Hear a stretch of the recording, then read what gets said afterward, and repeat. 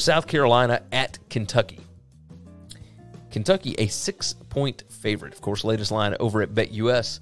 This is uh this is an interesting spot. Interesting spot. This line was at 11 and a half about three days ago. And now, I mean, we're not even close. We're, we're under a touchdown now. This thing is blown through key numbers. Um, South Carolina 1 and 8 against the spread their last night against Kentucky. Kentucky prides themselves on beating South Carolina. South Carolina is 0 4 against the spread on their last four road games. Kentucky 6 1 and 1 against the spread in their last eight games. All of that hinges on Will Levis. Is Will Levis going to actually play in this game? Uh, Matt over at KSR at Kentucky Sports Radio just revealed on Wednesday night that, hey, looks like Will Levis is a game time decision. Not sure exactly what's going on. Doesn't have to do with the finger that was uh, that was hurt last week against Ole Miss. Uh, this is a, you know, game time decision. We'll see. I'm interested in this big time because I think Spencer Rattler could go in there and have a little bit of success. You look at what Kentucky does, uh, and and they can't run the football. I don't trust whoever the backup is. If you can't throw the football, this is a team that's number 120 in PPA per rush. That even after Chris Rodriguez came back last week, I thought maybe he'd be able to help things because he gets a you know yards after contact. That offensive line still cannot block for him. Like it's it's rough. Uh, the offensive line is number 107 in offensive line yards. They're number 118 in stuff rate allowed. Uh, and it's not that South Carolina is great at that. Like, don't get me wrong.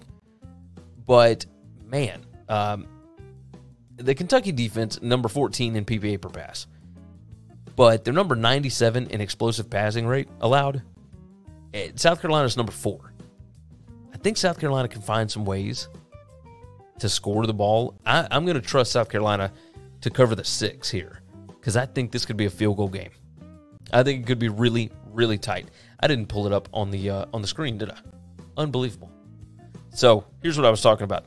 Uh, PPA per pass on offense for Kentucky. Well, if you don't have Will Levis, I don't know how reliable that number is. My number on this already was Kentucky by a point, not even a point. I mean, it was a really tight line anyway. Um, and when you look at the advantage here, the passing explosiveness for South Carolina, number four versus number 97. That's something to pay attention to. Just saying. Uh, I think South Carolina can find ways to to score here. Uh, they're pretty good running the ball, number six in PPA per rush over the last four weeks. Uh, Kentucky, you know, not great, uh, not especially not great with rushing explosiveness. I mean, Ole Miss took advantage of that. Um, I like South Carolina here. I like South Carolina. I think that they'll be able to uh, stay in this ball game. I like them plus the six. I like them plus the 11 and a half. Uh, but yeah, it's dropped a lot. We lost a lot of value. That's okay. Still going to ride with South Carolina here.